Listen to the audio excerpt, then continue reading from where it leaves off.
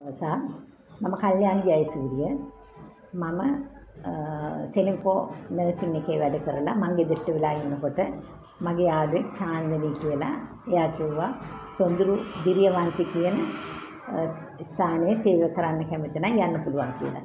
මම එයත් එක්ක ඇවිල්ලා එතන සේවයේ සමාජිකාවක් වුණා.